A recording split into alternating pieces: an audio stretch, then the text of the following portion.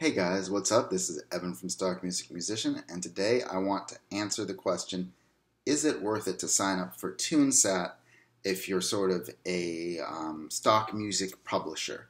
Um, so, by stock music, I mean you're licensing music on a regular basis on a site like Pond5 or Audio Jungle or something like that.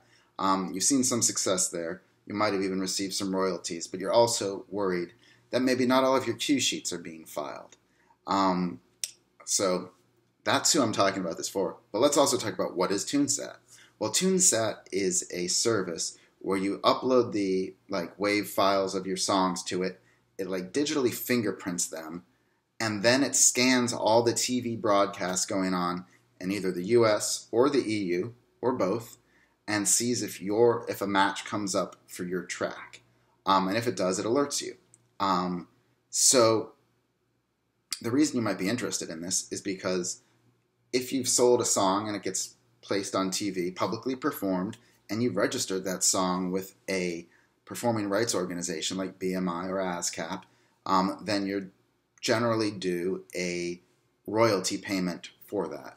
Um, and so, but you only get that payment if the TV show creators, producers, um, someone on their team submits what's called a cue sheet to your performing rights organization aka BMI or ASCAP or whatever.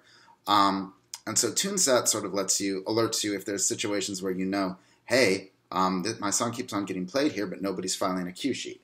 Um, so what I did is I signed up for a free plan, uh, tunesat.com. You can sign up for a free plan, which I think lets you monitor 50 songs, um, and I think it's just in the U.S. I'm not positive about that, um, just to see how it might work. Um, so I put my 50 most popular songs up there, the ones that I've licensed the most.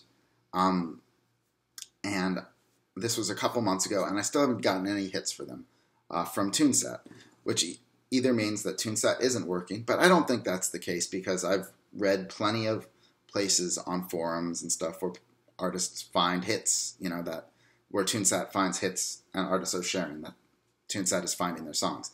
I think it's generally more that um, for people that are licensing music via sites like Pond5, um, that not many of them make their way onto TV.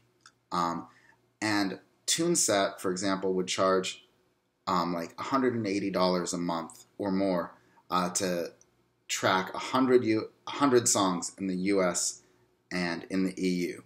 Uh, so basically, to me, it does not seem like it's worthwhile to use TuneSat if you're in the stock music game, uh, unless you're really just doing huge numbers of tracks, uh, or unless you're licensing a few tracks a huge number of times. Um, to me, that it's it just the economics of it don't pencil out for the type of music that we create. Um, and now, if you'd like to learn more about um, how to license your music and how to get you know, paid front end and back end royalties and all of that. I've got a free five day crash course on music licensing. Um, there'll be a link down below. Um, you should check that out. Um, and if you've had different experiences with TuneSat, please let me know um, because who knows? I mean, this is just my personal experience with it, uh, but I don't think it would be um, valuable to most people selling their songs on Pond5. Um, also, if you're interested, be sure to like and subscribe for more info on how to start selling your music. Thanks a lot. Bye bye.